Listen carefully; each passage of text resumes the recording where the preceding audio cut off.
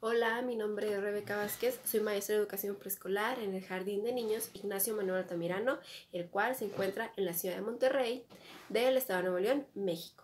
Y bueno, en este mes se cumple un año de estar en pandemia por COVID. Ha sido un año con dificultades y al mismo tiempo con muchas enseñanzas. Nos permitió encontrar la manera de estar en comunicación, valorarnos y valorar a las otras personas y nuestra salud. En este mismo mes, pero el año anterior, se dictó en el país que la comunidad educativa debía de resguardarse, ya que las escuelas fueron un lugar de contagio, por lo que se estableció dar clases de manera virtual, y esto ha sido consecutivo hasta el día de hoy. Hubo una capacitación inmediata, se usaron diferentes plataformas, estrategias para poder desarrollar las habilidades del lenguaje, pensamiento, sin olvidar las habilidades socioemocionales. Se buscó mantener la atención de niños y niñas y poder estar en educación a distancia. El contacto ha sido positivo y negativo.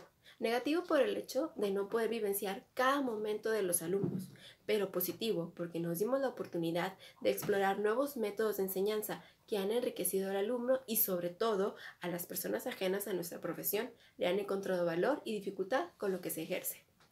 En este último año hemos aprendido a valorar la vida, ajustarnos a los cambios, a ser flexibles, empáticos y rápidos para poder actuar en escenarios turbulentos nos dimos cuenta que todos necesitamos de todos para poder construir este mundo, una vida más humana, así que sería imperdonable perdernos esa oportunidad.